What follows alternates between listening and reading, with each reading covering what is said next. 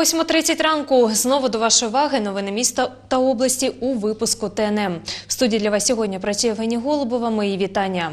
18 березня у власній квартирі застрелився виконуючий обов'язки директора комунального підприємства Миколаївський міжнародний аеропорт Владислав Волошин. Цю інформацію вже підтвердили в головному управлінні Національної поліції області. Владиславу Волошину було 29 років. Чоловік скоїв самогубство у власній квартирі в місті Миколаєві. В поліції повідомляють, він вистрелив собі в груди з бойового пістолету. Родина знаходилась вдома разом із чоловіком. Постріл з кімнати почула дружина. На місце події прибули медики та слідчо-оперативна група Інгульського відділу поліції. Постраждалий був терміново госпіталізований, але у лікарні швидкої медичної допомоги помер від отриманих ушкоджень. За попередніми даними, постріл був здійснений з бойового пістолету марки ПМ без номерних знаків. Зброя вилучена, направлена на проведення експертизи. За свідченням родичів, загиблий останнім часом знаходився в пригніченому стані та висловлював тривожні наміри. Розпочато кримінальне провадження за частиною першої статті 115 Кримінального кодексу України умисне вбивство, як того вимагає процедура в подібних випадках. Наразі триває слідство.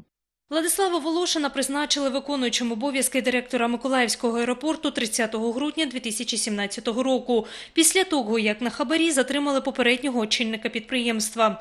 Він бойовий офіцер, колишній пілот штурмовика СУ-25. Саме Владислава Волошина російська влада звинуватила в атаці на малазійський Боїнг, що був збитий у 2014 році над Донбасом. І до інших подій. Крим це Україна. Під таким гаслом у Миколаєві відбулась мирна акція, яка була покликана в черговий раз привернути увагу громадськості до незаконної анексії Криму, яка сталася 4 роки тому. До акції приєднались понад три сотні миколаївців. Над площею в центрі міста майоріли прапори України і етнічні прапори кримських татар. Серед учасників і Феруза Ібрагімова, переселенка з Криму, розповідає зворушена такою підтримкою городян. Это выражение моего протеста, это выражение моего несогласия, это выражение моей надежды. Это жизнь. Очень многие мои друзья пришли, знакомые, очень неравнодушные люди пришли, которые против этого всего, которые очень любят Крым и которые знают, что Крым – это Украина. Неля Яровенко – одна з учасників акції. Розповідає, з Кримом пов'язано майже не все її життя. С Крымом я впервые столкнулась очень много лет назад. Мой отец военный, и Крым я знала только как путешествие, как отдых, эти прекрасные горы, теплое море.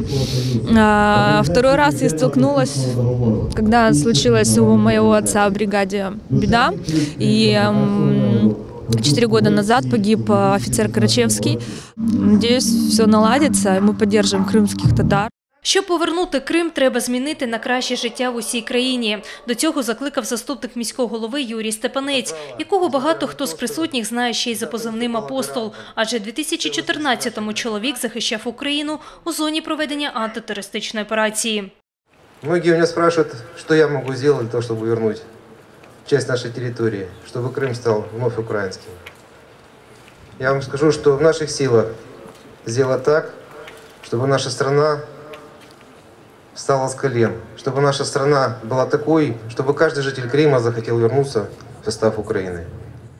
На згадку про кримських татар, які постраждали від переслідувань і шануючи пам'ять воїнів, загиблих на сході України, городяни поклали червоні гвоздики до меморіалу «Струни пам'яті». Євгенія Голубова, Артем Белібов, телевізійні новини Миколаївщини. Побудована за проектом видатного інженера Шухова, Миколаївська водонапірна вежа найстаріша в Україні. Їй виповнилось 111 років. І от один з найвпізнаваніших миколаївських символів планують реставрувати. Скільки на це потрібно коштів і звідки брати, розкаже Світлана Кльосова.